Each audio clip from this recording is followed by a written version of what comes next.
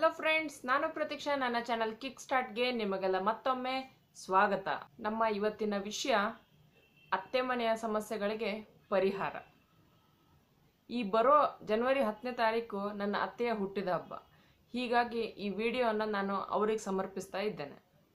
ಒಂದು ಹೆಣ್ಣು ತನ್ನ ತವ್ರ ಮನೆಯನ್ನು ಮರೆತರೆ ಅವಳು ನಿಜಕ್ಕೂ ಅದೃಷ್ಟವಂತಳು ಅಂಥೇಳಿ ನಾನೆಲ್ಲೋ ಕೇಳಿದ್ದೆ. ಮಕ್ಕಳಿರೋ ಸಮಯದಲ್ಲಿ ಅದೃಶ್ಯಳಾದರೂ ಬೇರೆ ಸಮಯದಲ್ಲೇ ನಾನು ನಿಜವಾಗ್ಲೂ ಅದೃಷ್ಟವಂತಳು.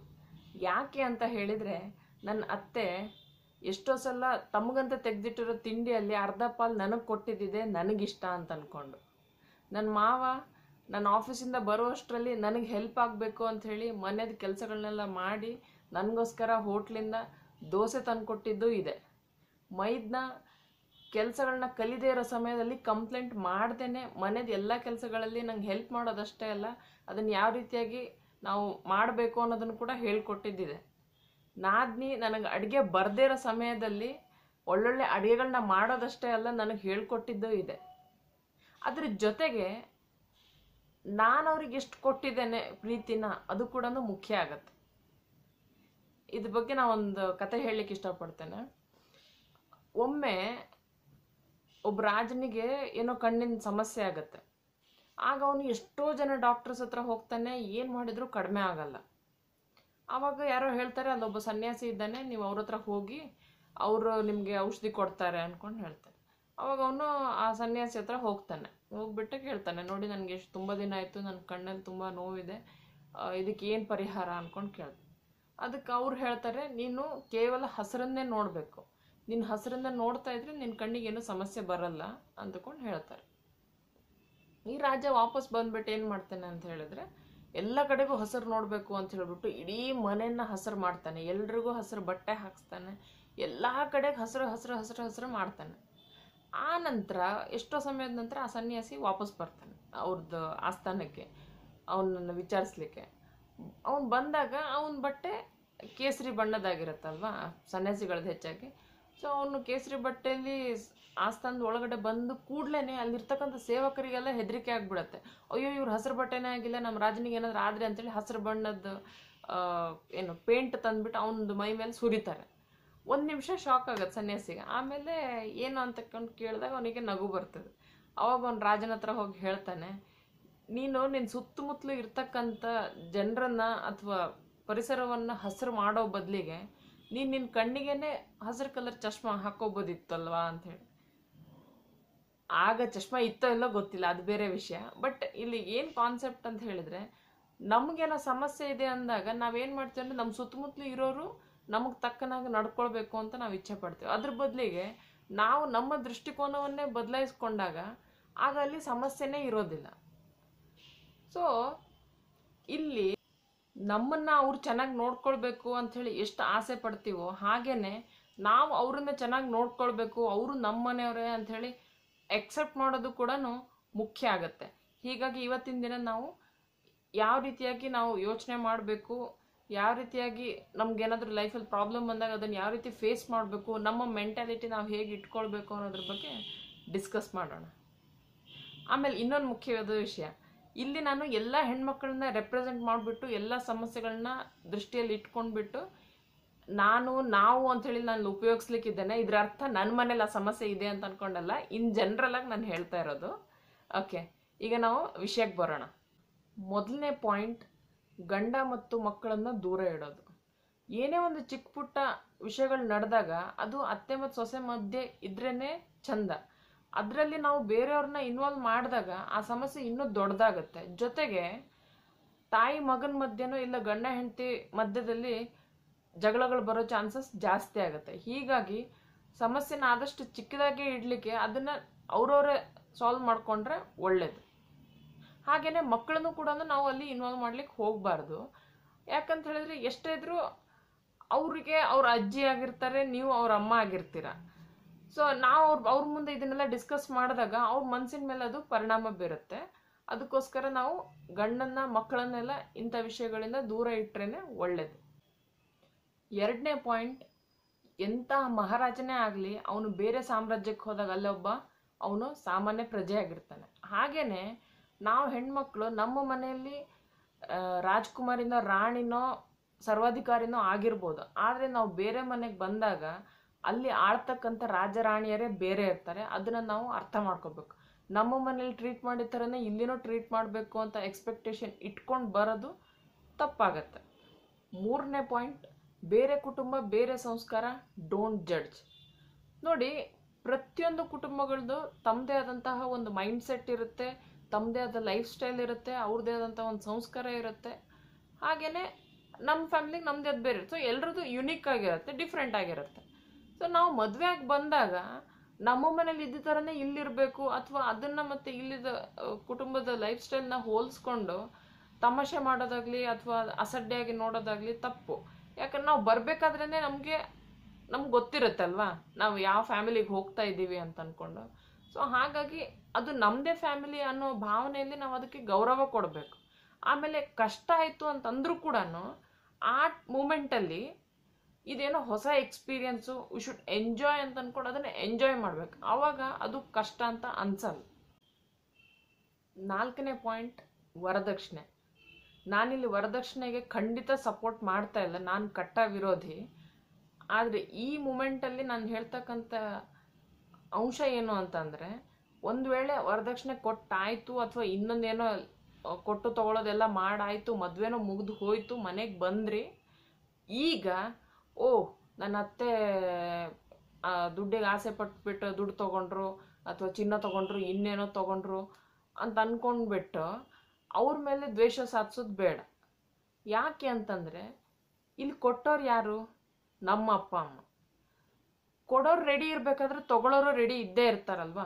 ಹಾಗಿರ್ಬೇಕಾದ್ರೆ ನಾವು ನಮ್ಮ ಅಪ್ಪ ಅಮ್ಮನ ದ್ವೇಷ ಮಾಡ್ಲಿಕ್ಕೆ ಆಗಲ್ಲ ಅಂತಂದ್ರೆ, ನಾವು ನಮ್ಮ ಗಂಡನ ಅಪ್ಪ ಅಮ್ಮನ ಯಾಕೆ ದ್ವೇಷ ಮಾಡಬೇಕು? ಅದ್ರ ಅರ್ಥ ವರದಕ್ಷಿಣೆ ಕಿರುಕುಳ ಕೊಟ್ಟಾಗ ಸಹಿಸ್ಕೊಂಡು ಹೋಗ್ಬೇಕು ಅಂತ ನಾನು ಹೇಳ್ತಾ ಇಲ್ಲ. ಸಾಮಾನ್ಯವಾಗಿ ಹೆಚ್ಚಾಗಿ ನಾನು ನೋಡಿರೋ ಹಾಗೆ ಅವ್ರೇನಾದರೂ ವರದಕ್ಷಿಣೆ ತಗೊಂಡಾಗ ಸೊಸೆ ಮನಸ್ಸಲ್ಲಿ ಒಂಥರ ಕಹಿ ಭಾವನೆಗಳು ಬರುತ್ತೆ. ನಾನು ಅದ್ರ ವಿಚಾರವಾಗಿ ಮಾತಾಡ್ತಾ ಇರೋದು. ಐದನೇ ಪಾಯಿಂಟ್ ಬಿ ಯುವರ್ ಸೆಲ್ಫ್ ತುಂಬ ಸಲ ಅತ್ತೆ ಮಾವ ಬಂದಾಗ ಸೊಸೆ ಅಂದರು ತುಂಬ ವಿಧೇಯರಾಗಿ ಏನೋ ತಗ್ಗಿ ಬಗ್ಗಿ ನಡ್ಕೊಂಡು ಹೋಗ್ತಾರೆ. ಆಮೇಲೆ ಮನಸಲ್ಲೇ ಬೈಕೋತಾರೆ, ಇಲ್ಲ ಹೊರಗಡೆ ಹೋಗಿ ಯಾರ ಮುಂದಾದರೂ ಹಿಂಗೆ ಬೈಕೊಳ್ಳೋದಿದೆ. ಆದರೆ ನಾನು ಕೇಳೋದೇನು ಅಂತಂದರೆ, ಇದರಿಂದ ಯಾರಿಗೆ ನಾವು ಮೋಸ ಮಾಡ್ತಾ ಇದ್ದೇವೆ? ನಮಗೆ ನಾವು ಮಾಡ್ಕೊಳ್ತಾ ಇದ್ದೇವೆ. ಅವ್ರು ನಮ್ಮ ಬಗ್ಗೆ ಏನು ಮಾತಾಡಬಾರ್ದು ಅನ್ನೋ ಒಂದೇ ದೃಷ್ಟಿಕೋನದಿಂದ ನಾವು ಅವ್ರ ಮುಂದೆ ತುಂಬ ತಗ್ಗಿ ಬಗ್ಗೆ ನಡೆದು ನಮಗೆ ನಾವು ಮೋಸ ಮಾಡ್ಕೊಳ್ಳೋದ್ರಿಂದ ಯಾವ ಸಂಬಂಧಗಳು ಕೂಡ ನೆಟ್ಟಗಿರೋದಿಲ್ಲ. ಅದಕ್ಕೆ ಆದಷ್ಟು ನಾವೇನಿದ್ದೀವೋ ಅದನ್ನು ನಾವು ಅವ್ರಿಗೆ ತೋರಿಸೋಣ. ಅವ್ರಿಗೆ ಆ ಮೂಮೆಂಟಿಗೆ ಅದು ಇಷ್ಟ ಆಗಲಿಕ್ಕಿಲ್ಲ, ಹೌದು, ಒಪ್ಕೋತೀನಿ. ಆದರೆ ಕೊನೆ ಪಕ್ಷ ಅಲ್ಲಿ ಒಂದು ಸಿನ್ಸಿಯರ್ ರಿಲೇಶನ್ಶಿಪ್ ಇರುತ್ತೆ. ಆ ಸಂಬಂಧದಲ್ಲಿ ಯಾವುದೇ ರೀತಿಯ ಆಡಂಬರಗಳು ಇರೋದಿಲ್ಲ. ಆರನೇ ಅಂಶ ದೊಡ್ಡವರು ಅನ್ಕೊಳ್ಳಿ. ಇಲ್ಲಿ ಎರಡು ಅರ್ಥ ಬರುತ್ತೆ. ಒಂದು, ಅವ್ರು ನಮ್ಗಿಂತ ದೊಡ್ಡವರು ನಾವು ಬಿಟ್ಬಿಡೋಣ ಈ ವಿಷಯನ ಇಲ್ಲಿಗೆ ಅನ್ಕೊಂಡು ಆದರೂ ಆಗತ್ತೆ. ಇಲ್ಲ, ಅವ್ರು ಸಣ್ಣತನ ತೋರಿಸಿದ್ರೆ ಏನಾಯ್ತು? ನಾವು ಅಟ್ಲೀಸ್ಟ್ ದೊಡ್ಡತನ ತೋರಿಸೋಣ ನಮ್ಮ ಮನಸ್ಸನ್ನ ದೊಡ್ಡದಾಗಿ ಇಟ್ಕೊಳ್ಳೋಣ ಅನ್ಕೊಂಡು ಆ ವಿಷಯಗಳನ್ನ ಅಲ್ಲಿಗೆ ಬಿಡೋದು ಕೂಡ ಆಗತ್ತೆ. ನೋಡಿ, ಈ ಚಿಕ್ಕ ಚಿಕ್ಕ ವಿಷಯಗಳಿಗೆ ಜೋತಾಡ್ಲಿಕ್ಕೆ ನಮ್ಮ ಮನಸ್ಸು ಜೋಕಾಲಿ ಅಲ್ಲ. ಅದು ಒಂದು ಶುದ್ಧವಾದ ನೀರು. ಅದನ್ನು ನಾವು ಶುದ್ಧವಾಗೇ ಇಡೋಣ. ಯಾಕಂದ್ರೆ, ನಮ್ಮಲ್ಲಿ ಏನಿರುತ್ತೆ, ನಾವು ಅದನ್ನ ತಾನೇ ಕೊಡೋಕೆ ಸಾಧ್ಯ. ನಮ್ಮ ಜೇಬಲ್ಲಿ ಪುಟಾಣಿ ಇದ್ರೆ ನಾವು ಪುಟಾಣಿನೇ ಕೊಡೋಕೆ ಸಾಧ್ಯ. ನಾವು ಸಕ್ಕರೆ ಕೊಡೋಕೆ ಸಾಧ್ಯನಾ? ಇಲ್ಲ. ಹಾಗೇನೆ ನಮ್ಮ ಮನಸ್ಸಲ್ಲಿ ಅವ್ರ ಬಗ್ಗೆ ಏನು ಭಾವನೆ ಇರುತ್ತೋ, ಅಥವಾ ನಮ್ಮ ಮನ್ಸು ಯಾವ ಥರನಾಗಿರುತ್ತೋ ನಾವು ಆ ಥರನೇ ರಿಯಾಕ್ಟ್ ಮಾಡೋಕ್ಕೆ ಸಾಧ್ಯ ಆಗುತ್ತೆ. ಅದಕ್ಕೋಸ್ಕರ ಈ ಚಿಕ್ಕ ಚಿಕ್ಕ ವಿಷಯಗಳನ್ನ ನಾವು ಅಲ್ಲಿಗೆ ಬಿಟ್ಬಿಟ್ಟು ನಮ್ಮ ದೊಡ್ಡತನನ ತೋರಿಸ್ಬಿಟ್ಟು ನಾವು ನಮ್ಮ ಗಂಡನ ಮನೆಯವ್ರ ಜೊತೆಗೆ ಚೆನ್ನಾಗಿರೋಣ. ಏಳನೇ ಪಾಯಿಂಟ್, ಡಂಗೂರ ಬೇಡ. ಏನಾದ್ರೂ ಒಂದು ವಿಷಯ ಆದ ಕೂಡ್ಲೇ ಎಲ್ರಿಗೂ ಆ ವಿಷಯನ ಹೇಳ್ಕೊಂಡು ತಿರುಗೋ ಜನನೂ ಇರ್ತಾರೆ. ಅದು ಏನಂತಾರೆ, ಅದು ಮನಸ್ಸಲ್ಲಿರೋ ಎಲ್ಲೋ ಒಂದು ಕಹಿ ಭಾವನೆನೋ ಏನೋ ಗೊತ್ತಿಲ್ಲ.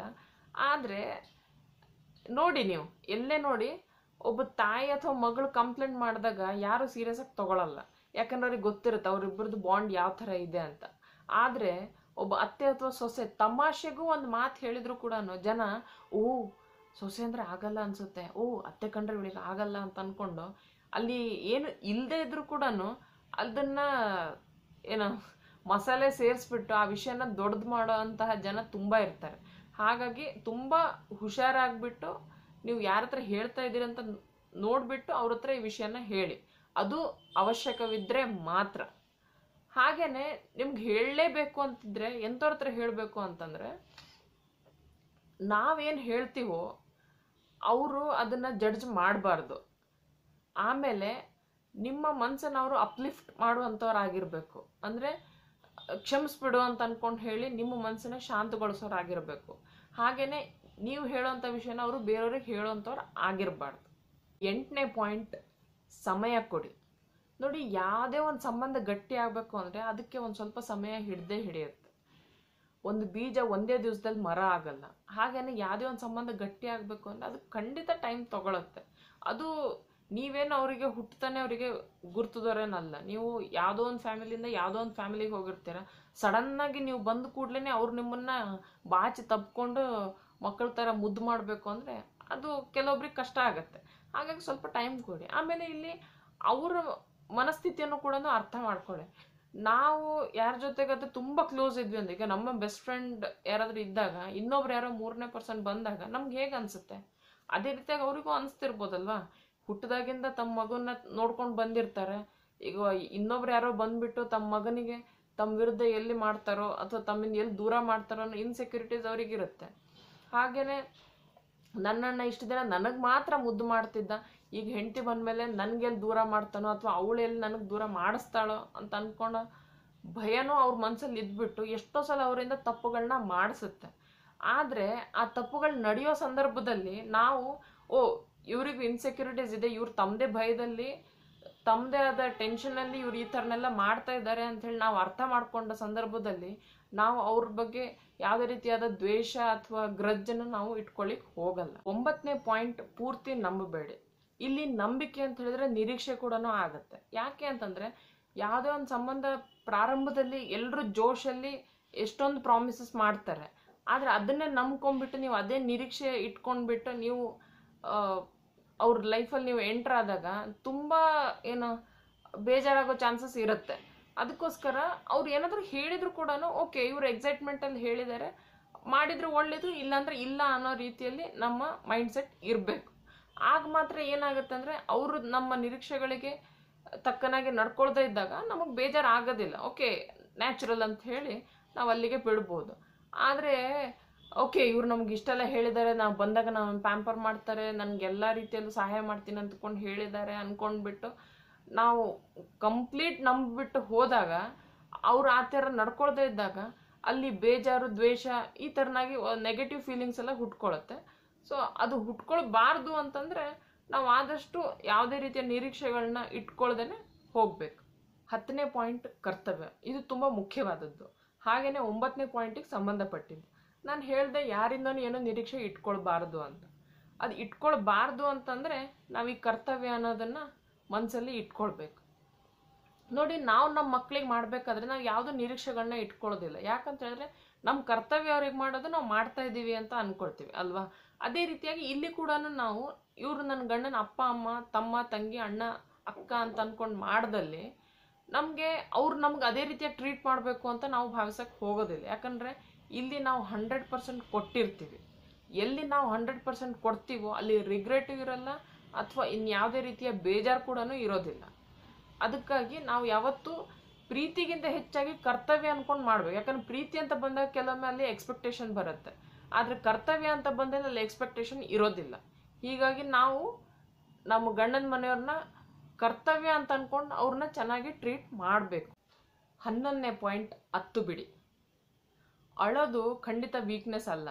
ಆದರೆ ಅಳೋದು ಹೇಗಿರಬೇಕು ಅಂತಂದರೆ ಇವತ್ತಿನ ದಿನದೇ ನಾನು ಎಲ್ಲ ಸಾಲವನ್ನು ಚುಕ್ತ ಮಾಡಿಬಿಡ್ತೀನಿ ಅನ್ನೋ ಲೆವೆಲಲ್ಲಿ ನಾವು ಹತ್ತು ಆ ವಿಷಯನ ಅಲ್ಲಿಗೆ ಮುಗಿಸ್ಬಿಡ್ಬೇಕು.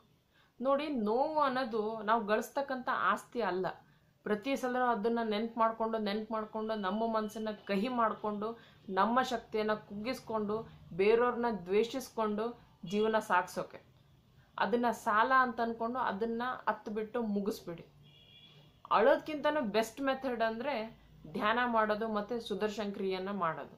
ಇದು ಮಾಡೋದ್ರಿಂದ ನಮ್ಮಲ್ಲಿ ಎಷ್ಟೇ ಹಳೆ ಕಹಿ ನೆನಪುಗಳಿರಲಿ, ಏನೋ ಯಾರ ಬಗ್ಗೆ ಏನೇ ರಾಗದ್ವೇಷಗಳಿರಲಿ, ಅದು ಖಂಡಿತ ಕರ್ಗೆ ನೀರಾಗಿ ಹೋಗ್ಬಿಡುತ್ತೆ. ಅಲ್ಲಿ ಕೇವಲ ಪ್ರೀತಿ ಮಾತ್ರ ಉಳಿಯುತ್ತೆ.